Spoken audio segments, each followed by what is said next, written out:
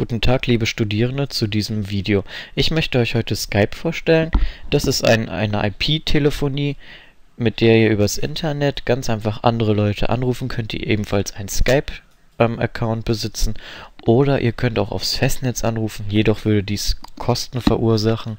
Mit Skype könnt ihr ebenfalls auch ähm, Chat-Nachrichten versenden, sodass ihr auch ähm, eine asynchrone Kommunikation führen könnt, falls mal ein Kontakt nicht online ist. Ich möchte euch jetzt erst einmal zeigen, ähm, wie ihr Skype ähm, herunterladen könnt. Dafür suchen wir einfach Skype via Suchmaschine und gehen einfach am besten auf skype.com und rufen die Hauptseite damit auf. Skype gibt es zum einen als kostenloses Modell und als ähm, Premium-Modell.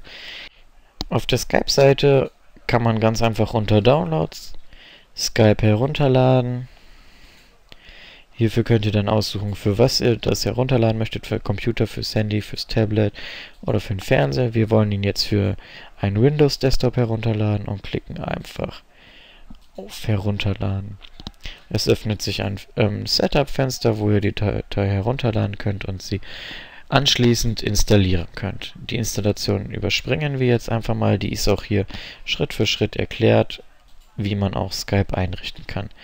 Nachdem ihr Skype dann installiert habt, könnt ihr Skype ganz einfach starten, indem ihr mit Doppelklick auf die Datei auf eurem Desktop diese öffnet und ähm, Skype startet sich dann. Dort ähm, könnt ihr dann einfach einen Account anlegen, so wie ihr das auch von anderen Programmen kennt und euch einloggen. Bei mir ist das Passwort und der Anmeldename gespeichert, somit hat er sich jetzt automatisch eingeloggt und ihr kommt dann in dieses Übersichtsfenster. Dort habt ihr auf der linken Seite eure Kontaktliste. Bei mir sind jetzt alle eingeblendet. Ihr habt auch die Möglichkeit, zum Beispiel nur Leute, die ähm,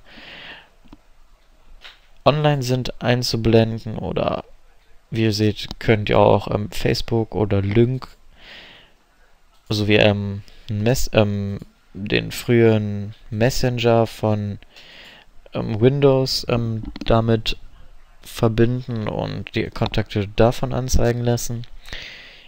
In der Mitte habt ihr so eine Art Statusfeld. Dort könnt ihr sehen, was für Benachrichtigungen eure Kontakte jeweils eingeschrieben haben.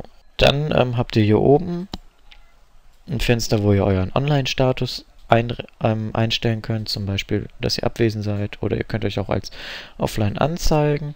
In dem nachfolgenden Fenster steht dann euer Name.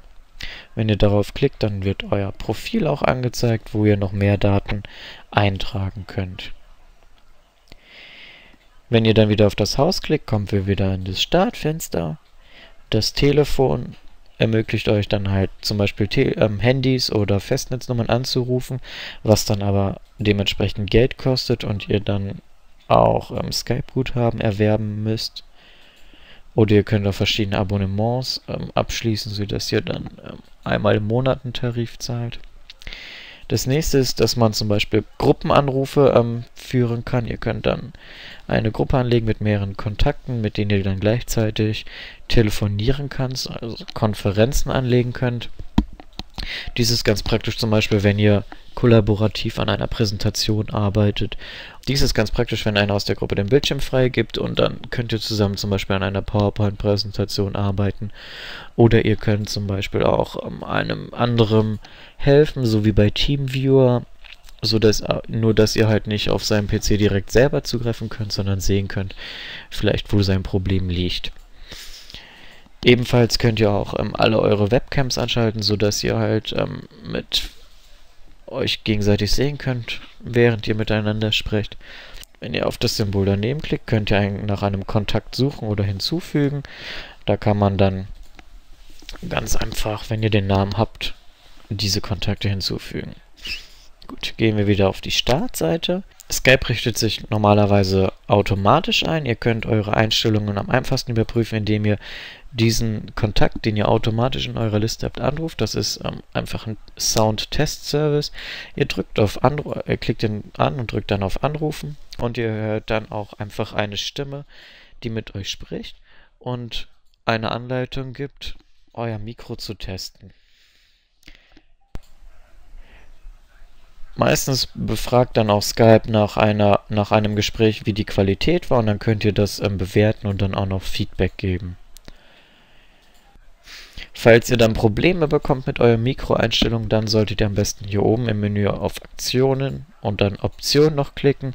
Dort habt ihr dann nochmal die Möglichkeit unter Audioeinstellungen zum Beispiel die Quelle eures Mikrofons einzustellen. Oder ähm, den Haken zum Beispiel hier rausmacht, dann ist keine automatische Mikrofoneinstellung, dann könnt ihr manuell die Lautstärke anpassen, ebenfalls wie bei Lautsprechern wenn ihr auf Videoeinstellungen geht, dann könnt ihr auch ähm, gucken, ob eure Webcam erkannt wird und funktioniert. Und ihr habt dann halt noch verschiedene andere Einstellungen, die ihr hier ausprobieren könnt, um Skype einzurichten. Ich hoffe, ich konnte euch Skype ein wenig näher bringen und wünsche euch viel Spaß beim Testen und beim kollaborativen Arbeiten mit Skype. Auf Wiedersehen.